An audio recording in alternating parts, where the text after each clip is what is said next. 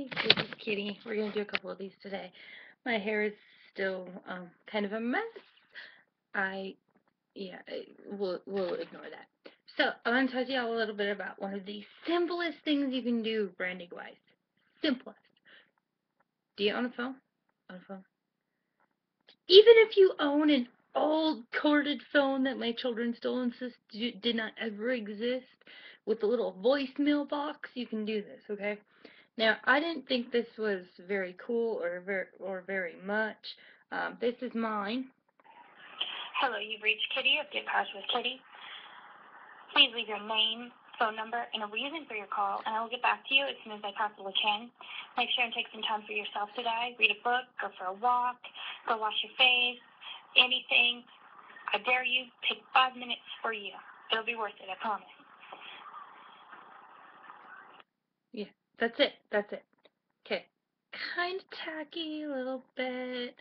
There's some breaks in, in my recording. That was like the 30th take because I had screaming. One of them I had a screaming child. The other one somebody needed to go to the bathroom. I, I sometimes use the bathroom when I need quiet. Um, but I have this.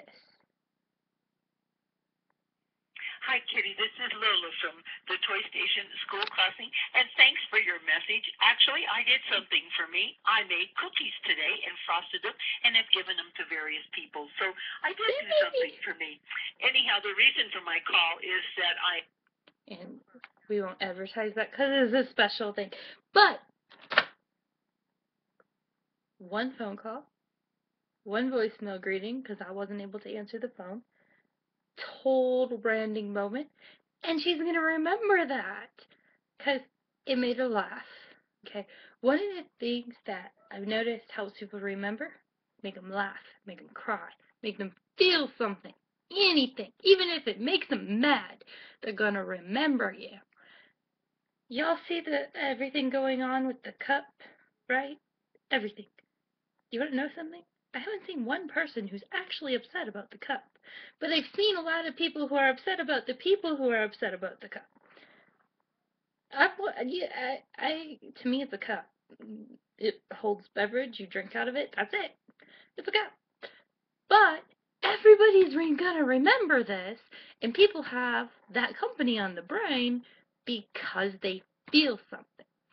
They either feel angry, or they feel mad, or they feel happy, or they're glad, or they're this, or they're that. But they feel something, and that's what makes you remember a brand or a company.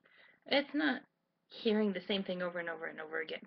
Well, actually, the, that might be part of it because you'll get irritated, and that's feeling something. Um, a lot of people don't know this because my videos are kind of not representative of this, but I do have a background in television and in marketing.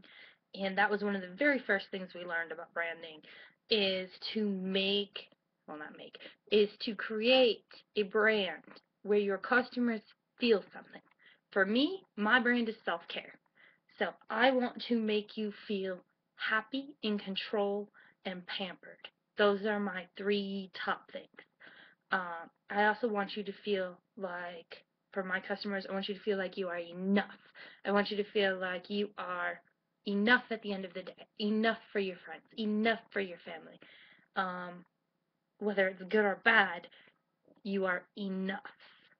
Um, there, that's a whole nother thing. But you, one voicemail, one message, and she remembers it, and she's gonna remember me when I walk in on Friday to claim my thing. And who doesn't want cookies given to them? I'm gonna hit her up for cookies. Anyway, this is Kitty. Remember to brand yourself, make your customers feel something, and take, ready for it, you all know this by now, five minutes for you. Wash your face, take a walk, read a book, go to the bathroom by yourself. I don't care. Take five minutes for you. I dare you. This is Kitty. We will talk to you later. Bye-bye.